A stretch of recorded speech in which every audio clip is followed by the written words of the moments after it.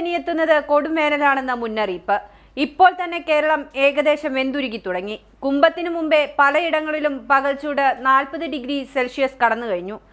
ഇതോടെ സംസ്ഥാനത്ത് സൂര്യാഘാത സാധ്യതയേറിയെന്നും കാലാവസ്ഥാ വിദഗ്ധർ മുന്നറിയിപ്പ് നൽകുന്നു. ഭൂഗർഭജലം അപകടകരമായ വിധത്തിൽ താഴ്ന്നു കഴിഞ്ഞു. ന്യൂനമർദ്ദം രൂപം കൊള്ളുന്നതിനാലാണ് ഇപ്പോൾ പ്രതീക്ഷ വയ്ക്കുന്നത്. അതിലൂടെ മഴയുണ്ടായില്ലെങ്കിൽ വലിയ ജലക്ഷാമത്തിന് നാട് സാക്ഷ്യം വഹിക്കുമെന്നാണ് കാലാവസ്ഥാ നിരീക്ഷകരുടെ മുന്നറിയിപ്പ്. പുലർച്ചെയുള്ള തണുപ്പ് ഈ ആഴ്ച കഴിയുന്നതോടെ മാറുമെന്നും വിദഗ്ധർ പറയുന്നു. തുലാവർഷം ചതിച്ചതാണ് വേനൽ പെട്ടെന്ന് കടുക്കാൻ കാരണം.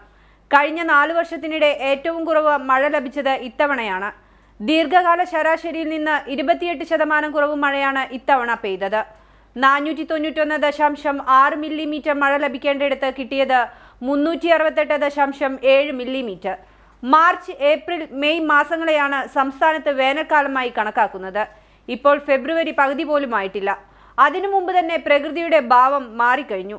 ഈ പ്രത്യേക സാഹചര്യത്തിൽ ഹൃദയ ശ്വാസകോശ രോഗമുള്ളവർ നേരിട്ടുള്ള ചൂടേൽക്കാതിരിക്കാൻ ശ്രദ്ധിക്കണമെന്ന് ഡോക്ടർമാർ മുന്നറിയിപ്പ് നൽകുന്നു. രണ്ടായിരത്തി പതിനഞ്ചിലാണ് അതികഠിനമായ ചൂട് രാജ്യത്ത് പിടിപെട്ടത്. ആ സമയം രാജ്യത്താകെ മൂവായിരത്തി മുന്നൂറ്റി രണ്ട് പേർ മരിച്ചെന്നാണ് കണക്കുകൾ.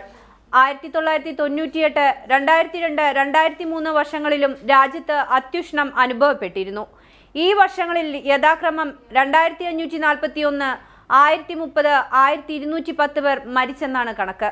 ഈ കാലയളവിൽ സംഭവിച്ചതുപോലുള്ള സാഹചര്യത്തിനാണ് രാജ്യം സാക്ഷ്യം വഹിക്കുവാൻ പോകുമെന്ന ഭയമാണ് ഇപ്പോൾ നിലനിൽക്കുന്നത്. വേനൽ പുരോഗമിക്കും തോറും ചൂടുകാറ്റിന്റെ തീവ്രതയും ആവൃത്തിയും വർദ്ധിക്കുമെന്നാണ് വിദഗ്ധർ ചൂണ്ടിക്കാട്ടുന്നത്.